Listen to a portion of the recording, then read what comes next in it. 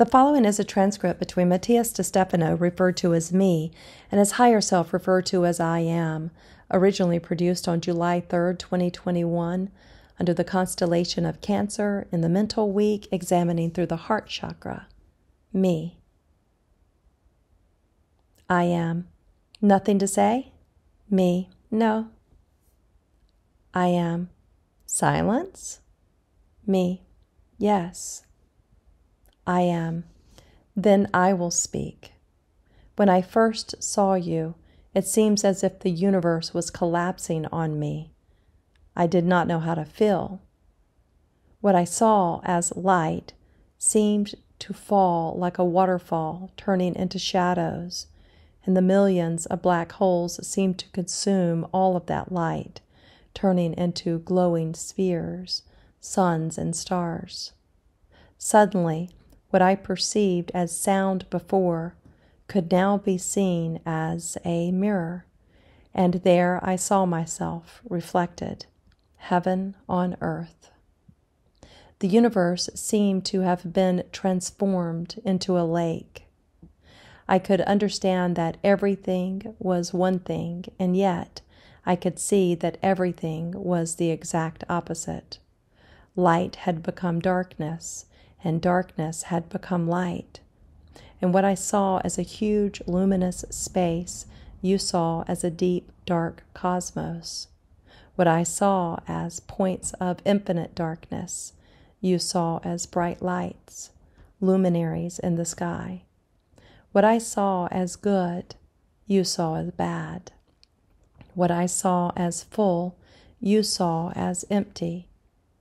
At first, I felt curiosity and then doubt, and later some fear. I feared that if I touched the surface of this lake, nothing would ever be as it was. The thin film reflected the cosmos, had particularity.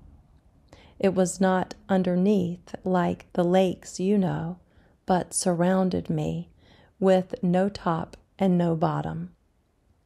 I could see it in all directions, and I had no choice but to approach. As if levitating and following his orbit, I approached the reflection. And when it touched him, the thin, smooth film began to emit waves like spherical echoes that expanded, distorting the images. When I did so, I feared that I had made a mistake for now everything that I had previously contemplated with clarity began to change until it was unrecognizable. And then I saw it.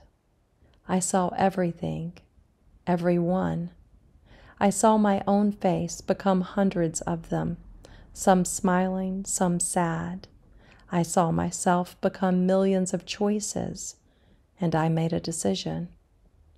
My decision would be that I would find them and experience with each of them what they were feeling. I chose not one over the others, but all of them equally. And each time I approached one of them and touched the reflection film again, more ripples were created. It looked like a drizzle slowly turning into a rain falling in all directions on a mirrored lake. The brooks were churning behind the rain, and when it ended, the storm's noises receded. The fine mist covered everything until the mists disappeared, leaving again the mystical image of a mirror, peaceful. And after so much lived, I looked at myself in it again, and I could see myself again only me, no one else, reflected. And then I decided to live myself. I approached in the gentle waters, levitating above them, in what for you is an up and down, for me was a side to side, a watery mirror in a cosmic wall. First, I looked at my form. I recognized myself, and then I brought my eyes closer to me. And that was the moment when, face to face, I crossed the water and I looked on the other side, and there I saw you, lying on a bed with the anguish and sadness of being lost in meaninglessness. And I wondered why, if I could see everything, you who were me could not see it. I understood about the reflection, but still I decided to go through it. And so our heads crossed and our eyes became one, and there you could see what I knew, and I was able to live what you felt. Me. I am a calm lake. It was turbulent when we met, but I always remember that you as that calm lake. The lake is the heart of the valley, where all of the streams, the rain waters, they go to, and they form where the mist rises and the clouds emerge. It is in the lakes that the turbulences of life find peace and serenity. They are deep, cool waters that nourish nature with calm. They are the mother that contains the source of life. I am the mist that found thousands of streams to reach you. For your life is my calm. And the same is achieved by observing yourself, where all of the stories converge, where all of the waters that have traveled their different paths arrive at the same place unite to be observed. Look at yourself in the reflection of the lake. Today, you wanted to do it. You wanted to go to Habadabtra, the Koran lake, but not to see yourself, but to let yourself die. There you died long ago, in its waters. Twelve thousand years ago, we let ourselves die in the reflection of the sky on earth, sailing with the gods and you wanted to do it again, to float among them, to forget all of this. Me. I am. We've been through this several times. You remember? Year 1155, the year you lost the faith, the year you gained your own inner power. You stopped following others to follow yourself, and still you fail to regain your inner power. Where is your power? You decided to give it all away at every step. Why? Me. I am. You are afraid of becoming a despot. But you won't if you look in the mirror of the lake, if you let yourself die to be reborn all of this time, we've been putting together the pieces of a puzzle of which you are now beginning to understand its shape, to discover what its shape means to you. Remember what Shahir said to you in Kaombo. What will happen when, after all you have done to get there, you know that this is not your place? Surrender power and control. Look in the mirror just as I do when I look at you, me. I am.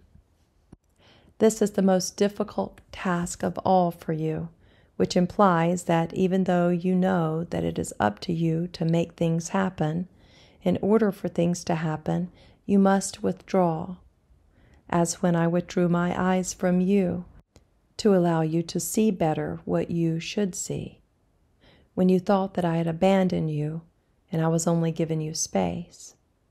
Maybe it is time for you to do the same, for you to sit in front of the mirror of your heart and contemplate without throwing any drop or rock into the pond, loving what is unconditionally, letting the lake show you what you have accomplished.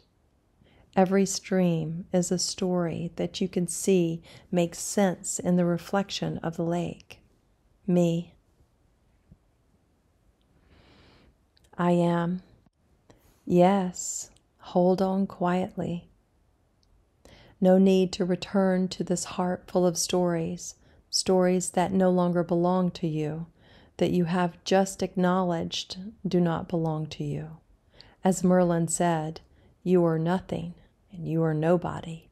Fall in love with the nothingness, with the void. As Shahir said, the day will come when you will see everything that you have done did not depend on you, and nothing will depend on you. Let go. Let go in the depths of the lake, keeping in your heart what you have done, like waters that nourish the life that surrounds your love. And in love, you will be able to give it. That which you thought had you had contained, but which has no other destiny than to overflow to nourish the rivers that continue their journey while your heart remains reflecting. Me. I am. This is a grief that we all experience at one time or another, and that the longer we deny facing, the harder its burden becomes at the end of the road.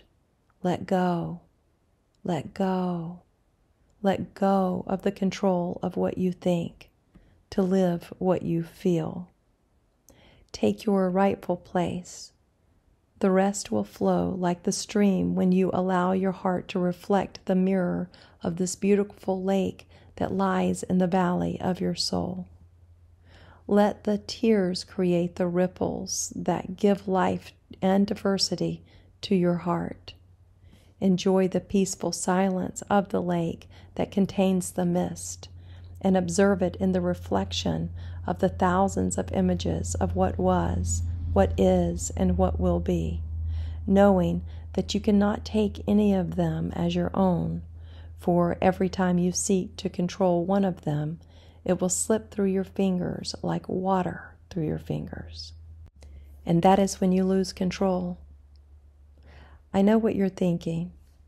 Where is personal power if I can't decide for myself in the little things of life? The question is whether what you are choosing is what is really yours to choose. Your great moral dilemma is to stop being a child in order to be an adult. And therein lies your great conceptual error. You did not come in this world to be one or the other. You did not stop being a child to be an adult, nor do you relegate adulthood by preferring childhood. You have come to be both. You have come to be what many will be a gray man, an example of being, an example of being. Have you forgotten? Do not limit yourself to human circumstances limit yourself to being a real human, not one who struggles among the banalities of animal subsistence, but one who walks equally as well in heaven as on earth. Me. I am. This is the duel of who you think you are. Power does not lie in making decisions and directing others. Power lies in directing yourself. So go back to the lake and die. Let the melancholy of what you believe about yourself, of what you hope for, die, and let the agony become freedom. It will not be easy.